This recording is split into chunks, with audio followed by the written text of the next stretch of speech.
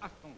Meine Damen und Herren, wir beginnen mit unserer Fernsehübertragung vom Gelände der Vereinigten Flugbootwerften in Friedrichshafen am Bodensee.